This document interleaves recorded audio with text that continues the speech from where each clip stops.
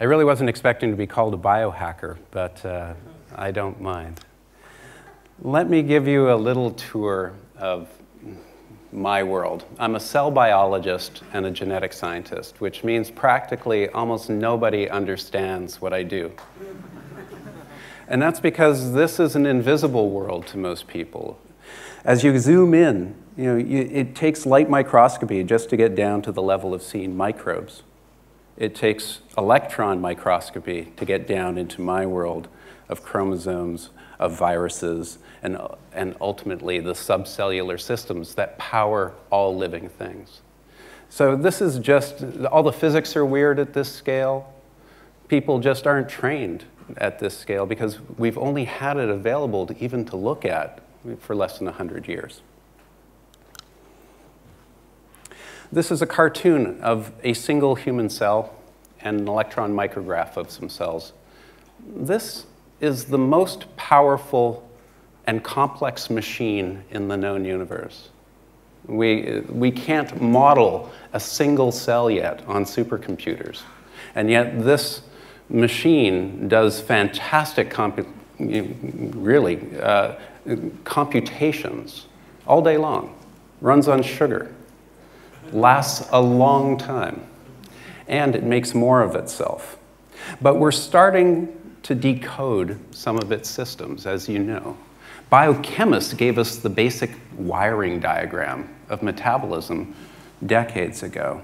And now with DNA sequencing, the Human Genome Project, et cetera, we're actually getting a look at that code. What we're learning, actually, is that the cellular architectures in our bodies are actually very similar to the computer architectures we've been building. And what I mean by that is, you know, it's built on components that come together to make circuits, then very, very complicated circuits, ultimately producing the processor that is the cell. And those cells link up to form networks, local area networks, which in biology are organs and tissues, and then wider area networks, which are our bodies. My body, your body, has roughly 40 trillion cells more devices, more, com more com connected computers than the entire internet. So this is a very complex machine, and we are going to be decoding it for a very long time. This is what the program looks like for a human. 23 chromosomes, metaphase in this case, about six gigabytes of data. In other words, about one movie you may have you know, on a DVD at home. This is a bacterial genome. It's like someone squashed a bacteria. That's its guts. Uh, that's about five megabits of data, about the same as one digital photograph on your phone. And the ones that I'm most interested in are these guys. These are virus particles, about 30 nanometers in size, quite small, typically about 100 mega, uh, 100,000 bits of data. And they can get as small as 5,000 bits of data and even below. So really, really tiny. These are the apps of the biological world. They're actually kind of like the data packets. I work for a software company called Autodesk. Most people know Autodesk. It's been around for a long time. Uh, for our AutoCAD products, which are really used for designing buildings and architecture. But we make a lot of other tools for visualizing and simulating and doing complex analyses. So we kind of touch pretty much everything today in digital fabrication.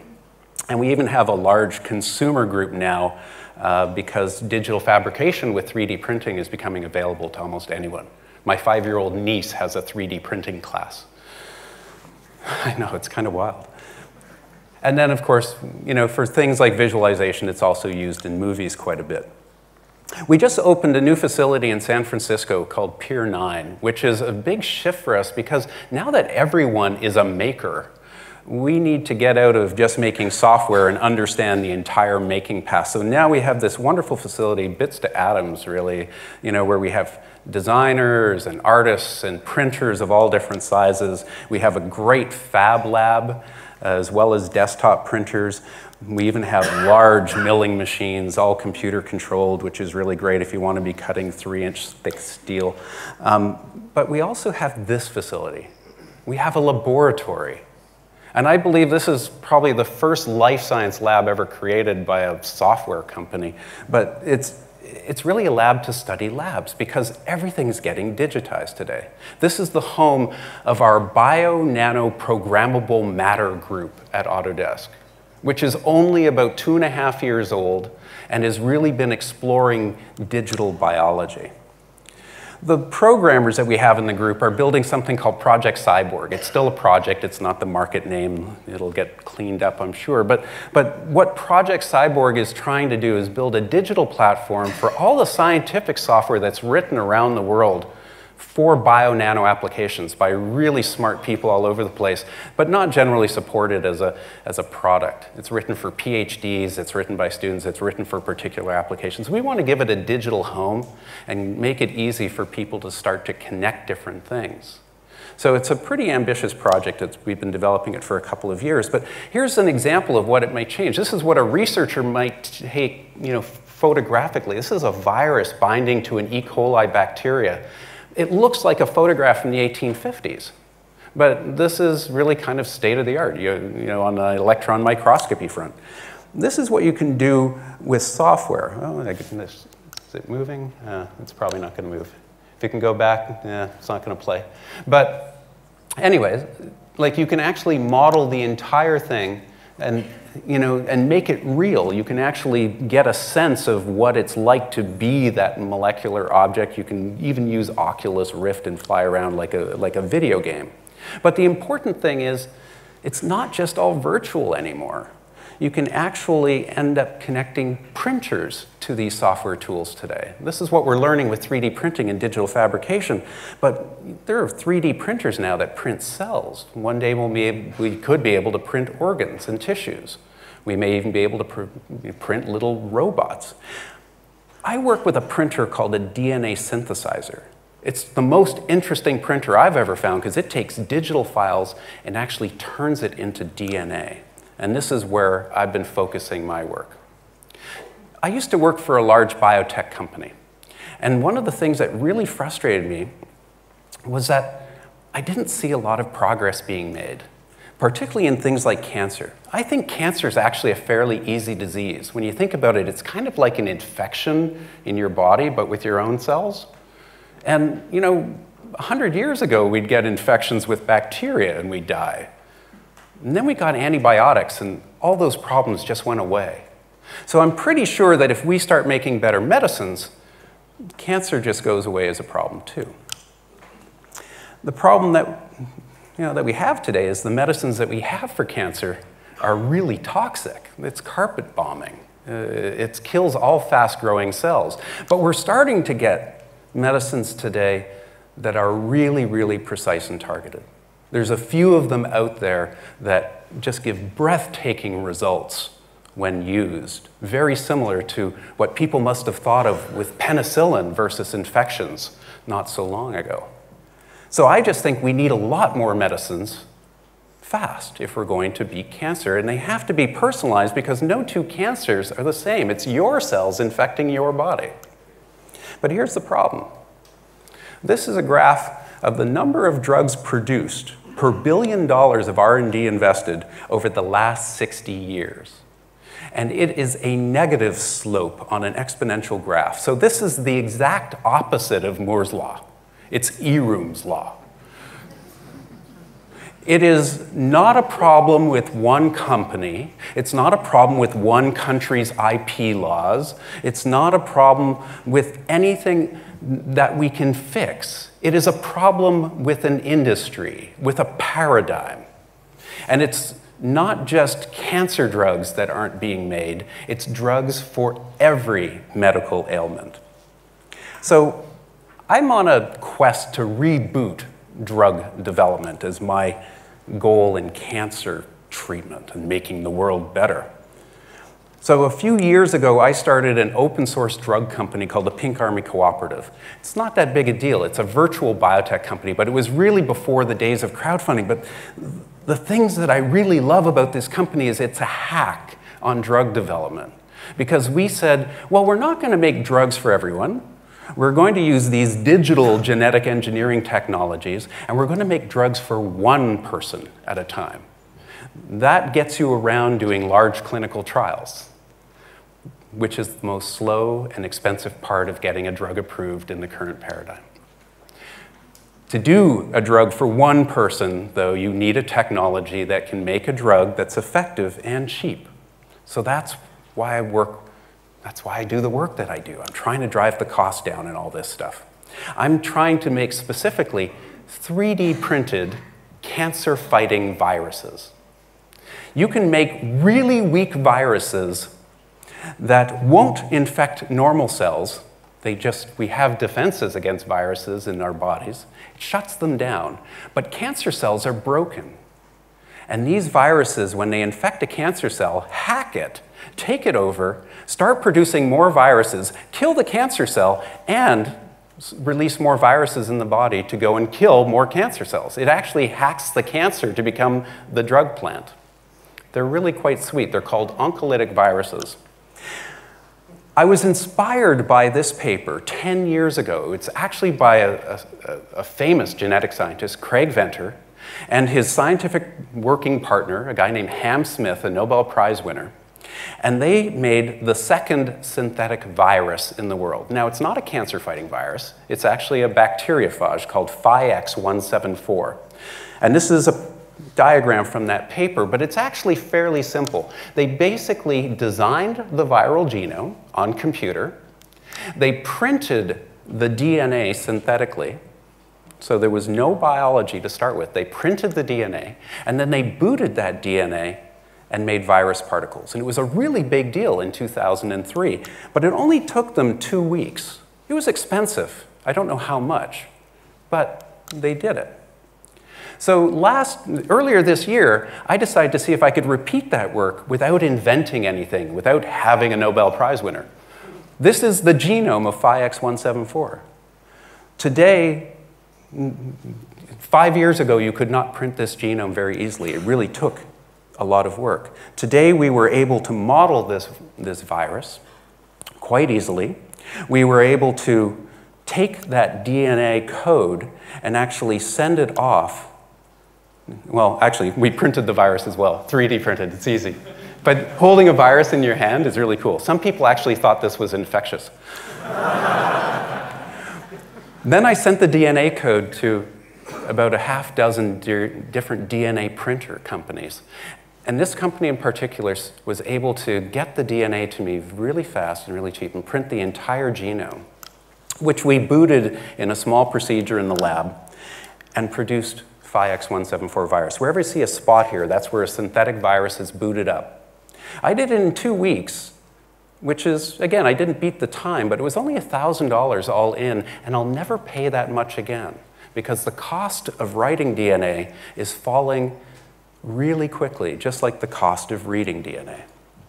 So this is, as far as I know, the first synthetic virus Autodesk has ever produced. Caught a lot of attention.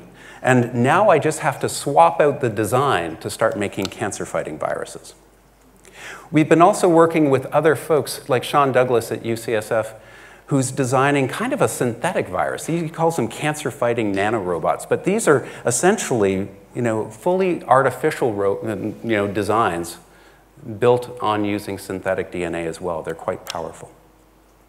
So we're starting to see the day now where digital pharma is booting up where just with a laptop and some of the tools that are becoming available, you can actually make powerful drugs that once only drug companies could do at incredibly low costs. I think in the next two to three years, I should be able to make a virus for about a dollar.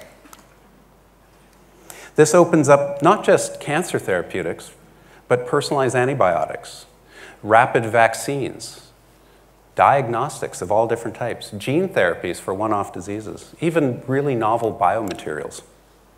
And of course, it means that people are going to start hacking this as well. So last year, my writing partner, a guy named Mark, Mark Goodman, who is a cybercrime expert, and I started brainstorming. We started to think of some of the easy hacks in this. But, you know, the only thing I can say that's reassuring is we actually have state-of-the-art defenses it's called our immune system. It's actually fairly hard to hack biology. This little guy, though, is waking up a lot of people to the need that we have to think differently about viruses and microorganisms as we have in the past. If you don't recognize this, it's the Ebola virus. We'll get through this infection, but moving forward, we're going to have to start leveraging these digital technologies better because you, we don't know how to track this information. We go and we sneeze at the doctor, we have a fever, we get sick. They don't know what you have, whether it's the flu or Ebola. That has to change, and it will be these digital technologies that do it. We're already using phones to be able to track outbreaks just by self-reporting. We can make this much more fine resolution. This is just Google's location tracking off of Android phones. I have apps on my phone that track where I go. And you can even get now, for a couple hundred dollars, state-of-the-art military-grade heat sensors, which I could, should be using to see if any of you have a fever. But moving forward, it'll probably be possible to actually make a drug with your phone too, because all of these technologies that I'm talking about, right now, it's a small lab, then it gets to be a box, then it gets to be a little tiny brick, and then it goes on a chip. Finally, I'll just say that Autodesk has opened up all of its software for free for every student and faculty and institution in the world. This was just done a couple of weeks ago. Uh, now it's global. Um, so if anyone wants to use our software and is a student or faculty member, please just go to this website. You're welcome to download anything that we make. And, uh, you know, keep your eyes open to some really awesome new medicines in the future because now every researcher can be a drug company too. Thank you.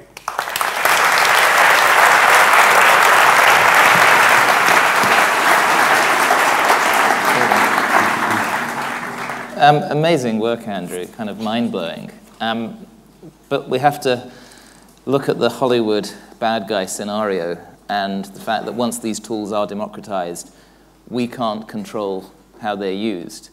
If you were advising the president, the prime minister on biodefense, what would you suggest that they look at? So the very first thing that we have to, we have some pretty decent blocks actually going from the virtual to the physical. Um, the, every sequence that goes into a synthesizer gets scanned. So no one can print Ebola or smallpox or even the flu. Um, but where we really need to start changing the way we look at the world is we have to have better biosensing. We, in every room, we have smoke detectors. We have no biosensors. And it's, it's, to me, that's uh, astounding in this day and age that we don't have a rapid way of looking at, well, do you have Ebola or do you have the flu? You know, we're still doing temperature sensing. You know, we're still asking, have you traveled to Africa? So we, we really need to get a complete digital upgrade in, in our ability to look at the nanoscale in the microbial world. Um, and we need to change the way we educate and regulate these areas. And until we do that, should we be losing sleep, worrying about the risk? No, if anything, these digital technologies actually provide the opportunity for more oversight than we've had in the past. There's been bioweapons programs around the world for years and various conventions, and people have broken them. But, but now that they're digital, uh, it's really hard to hide your tracks, as we know. Um, so, so there's more opportunity for surveillance than ever before and for tracking. I think we have plenty, again, our immune systems are very good at fighting most of these things.